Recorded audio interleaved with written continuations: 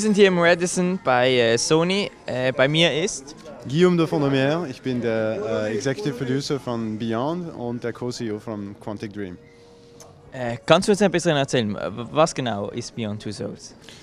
Beyond Two Souls ist unser neuestes Spiel nach äh, Heavy Rain und äh, es geht die, die, die, die Story, äh, in der Story geht es um, um Jodie Holmes, eine junge Frau, die wir 15 Jahre lang verfolgen werden. Also als Spieler spielt man Jodie Holmes, wenn sie zwischen 8 und 24 Jahre alt ist.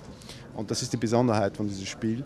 Ich denke nicht, dass in einem anderen Spiel man ähm, einen Charakter so lang verfolgt.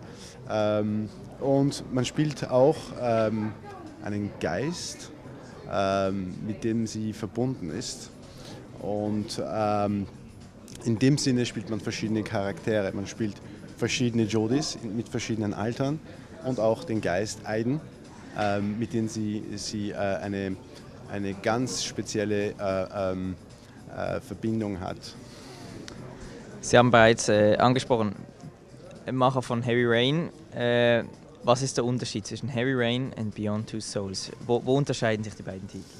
Die beiden Titel unterscheiden sich erstens einmal technologisch, äh, weil wir eine ganz neue Engine entwickelt haben, aber auch grafisch. Ähm, wir haben insbesondere äh, eine neue Technologie entwickelt, oder besser gesagt, wir haben wir benutzen jetzt eine neue Technologie, äh, um ähm, äh, Schauspieler, das Spiel der Schauspieler ähm, äh, zu capturen. Und in Beyond gibt es auch sehr, sehr viel mehr Action, also direkte Action, die man, die man als Spieler wirklich äh, direkt kontrolliert. Ähm, aber ich würde sagen, dass die Besonderheit ähm, wirklich die, die neue Story ist. Also eine, eine ganz neue Geschichte mit neuen Charakteren und mit anderen Themen auch. Ähm, Heavy Rain war ein, ein, ein darker Thriller. Hier geht es nicht um Morde, es geht, um, um, es geht wirklich darum, das Leben von Jodie Holmes ähm, äh, selbst zu erleben und, und, und ähm, zu sehen, wie das, was sie ähm, macht, wirklich ihre, ihren Charakter verändert und ihre, ihre Weltansicht wirklich äh, ähm, ähm, durch diese 15 Jahre total, total äh, ähm, anders wird.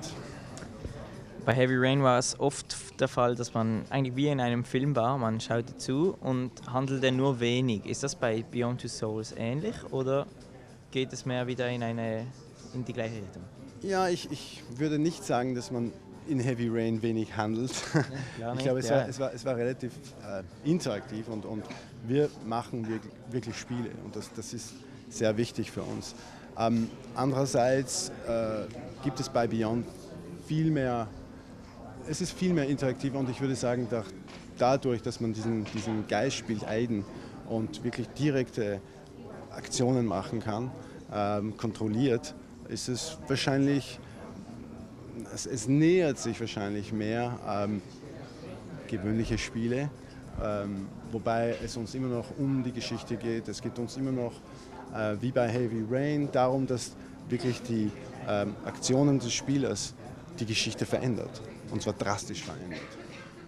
Heavy Rain war damals mit einer Demo anspielbar für, für alle Spieler der PlayStation-Konsole. Wird das auch so sein bei Beyond Two Souls oder ist das noch nicht klar? Es ist noch nicht klar, aber ich glaube, es ist. Ähm, ich habe immer gedacht, dass es wichtig ist, ähm, Spielern die Möglichkeit zu geben, ähm, ein Spiel auszuprobieren, bevor sie es wirklich äh, äh, ganz und voll erleben werden. Und ich, ich denke, wir werden höchstwahrscheinlich auch da eine, äh, bei Beyond eine, eine Demo haben. vor allem, weil es wirklich, glaube ich, eine, eine eine andere Erfahrung sein wird ähm, wie, äh, als, als Heavy Rain. Also es ist wichtig, dem, dem Spieler zu, ähm, einen, einen Vorgenuss von dem zu geben, was er erleben wird.